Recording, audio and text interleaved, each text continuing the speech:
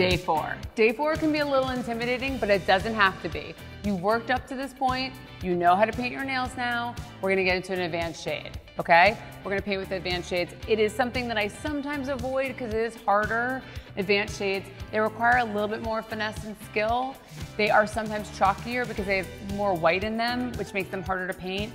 Dark shades, bold shades also can be advanced because when you hit your cuticle, it can stain. So you really wanna make sure that you know how to paint and avoid the cuticles, avoid flooding those cuticles. But you got this. If I can do it, you can do it. You're gonna see what color I chose in a sec. Let's talk about the poppy first. Let's just do a little refresher. Pop off your overcap, line up your poppy, the flat side of your poppy with your inner cap. This is really gonna help you paint because you really wanna stabilize your hand. Like I said before, you start with that first coat in the middle of your nail, push down towards the cuticle, and pull back through your nail. That first coat, let it dry, five or 10 minutes. Thin, thin, thin coats, don't go too thick. I know it's tempting.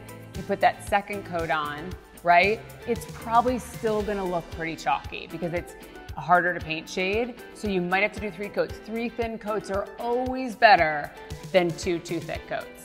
I promise you because they dry faster and then you don't get that chipping later on because you had too thick of a coat. So you put on the second coat, let it dry. Third coat, you probably need it. I always need it, always, always, always. And then you put on the top coat, okay?